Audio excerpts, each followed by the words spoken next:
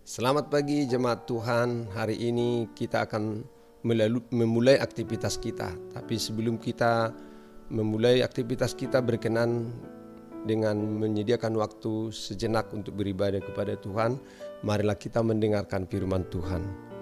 Anugerah Tuhan kita Yesus Kristus dan kasih setia Allah Bapa kiranya menyertai kamu sekalian. Amin.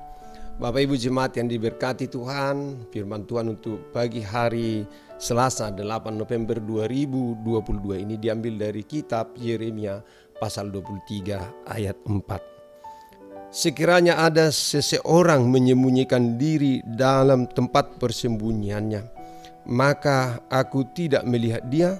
Demikian firman Tuhan. Tidakkah aku memenuhi langit dan bumi? Demikian firman Tuhan. Saudara jemaat Tuhan Alkisah seorang anak tidak sengaja membunuh bebek kesayangan kakeknya. Ia sangat takut kakeknya akan marah sehingga ia pun menyembunyikan kesalahannya. Namun ternyata kakaknya mengetahui hal itu dan memampatkan kesalahan si adik ini untuk kepentingannya. Setiap kali sang kakek membawakan hadiah ataupun hendak mengajaknya bepergian, ia meminta si adik untuk memberikan semua yang menjadi haknya tersebut. Kalau tidak ingin kesalahannya akan diceritakan kepada sang kakek. Alhasil ia selalu kehilangan hal-hal baik dan kesempatan-kesempatan yang diberikan oleh sang kakek. Sampai suatu ketika akhirnya anak tersebut sudah tidak tahan lagi untuk hidup dalam tekanan kakaknya dan memutuskan untuk mengakui kesalahannya kepada sang kakek. Di luar dugaan ternyata sang kakek sudah sejak lama mengetahui tentang kejadian tersebut dan bahkan sudah memaafkannya. Namun sang kakek sengaja menunggunya untuk berani mengakui dan bertanggung jawab atas apa yang sudah dilakukannya. Maka sejak saat itulah beban yang selama ini dipikulnya terlepas begitu saja dan ia bisa kembali menikmati semua kebaikan-kebaikan sang kakek. Saudara jemaat Tuhan, sepandai-pandainya kita menyembunyikan kesalahan, ketahuilah bahwa mata Tuhan tidak pernah terlepas dari kita. Lihatlah bagaimana Tuhan mengetahui kesalahan Agan yang begitu tersembunyi ketika ia mengambil barang-barang yang seharusnya dimusnahkan. Juga bagaimana Tuhan menolak Saul dan memilih Daud sebagai penggantinya karena melihat perbuatan Saul. Sungguh tidak ada yang tersembunyi di hadapan Tuhan.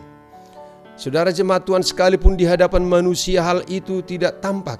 Tetapi bagi Tuhan semua yang kita lakukan, kita pikirkan, bahkan yang ada di hati kita, Tuhan mengetahuinya.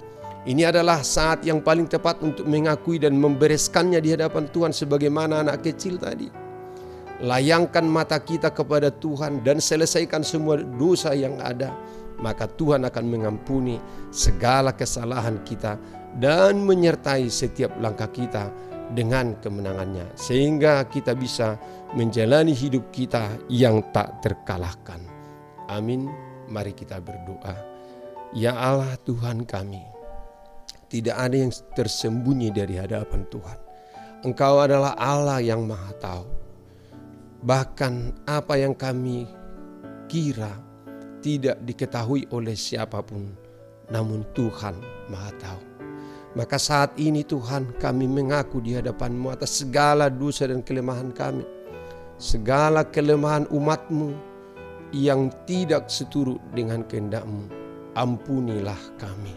Sehingga Tuhan akan mengampuni kami.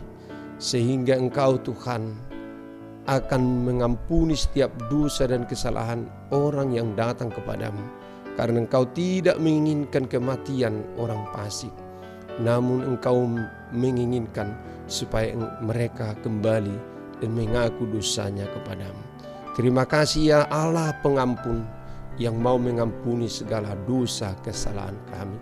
Seberat apa pun dosa kami, engkau ampuni, bahkan engkau rela mati untuk kami. Di dalam Yesus Kristus Tuhan kami. Amin anugerah Tuhan kita Yesus Kristus kasih setia Allah Bapa dan persekutuan Roh Kudus kiranya menyertai kamu sekalian. Amin. Selamat pagi Bapak Ibu jemaat Tuhan. Tuhan memberkati. Horas